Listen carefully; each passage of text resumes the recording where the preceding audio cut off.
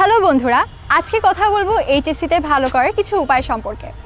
এইচএসসিতে অবশ্যই একটা ভালো রেজাল্ট করার জন্য তোমাদেরকে কিছু বিষয় মাথায় রাখা জরুরি। সেই বিষয়গুলো নিয়ে আজকে মূলত আলোচনা করব। প্রথমত, তোমাদেরকে এইচএসসি এর বিগত বছরের যে প্রশ্নগুলো রয়েছে, সেগুলো সলভ করা খুবই জরুরি। কেননা, এই প্রশ্নের ধরন সম্পর্কে যদি তোমাদের একটা ধারণা থাকে, তাহলে এইচএসসি পরীক্ষায় প্রশ্নের উত্তর করা তোমার জন্য খুব সহজ হবে। এই জন্য এইচএসসি এর টেস্ট পেপারগুলো আগেভাগেই তোমাদের জন্য সলভ করা খুবই ইম্পর্ট্যান্ট এ সময় তোমাদের যে টপিকগুলোতে প্রবলেম আছে, তোমরা সেগুলো নিয়মিত প্র্যাকটিস করলে দুর্বলতাগুলো অনেকাংশেই কেটে যাবে।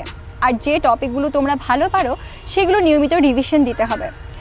এভাবে তোমরা প্রতিদিন নিয়মিত সময় ভাগ করে গুছিয়ে পড়লে অবশ্যই এইচএসসিতে ভালো রেজাল্ট করা সম্ভব।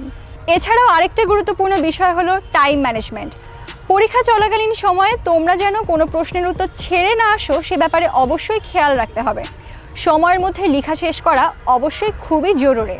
মূলত এই বিষয়গুলো মাথায় রাখলে তোমাদের পক্ষে এইচএসসিতে একটা ভালো রেজাল্ট করা সম্ভব।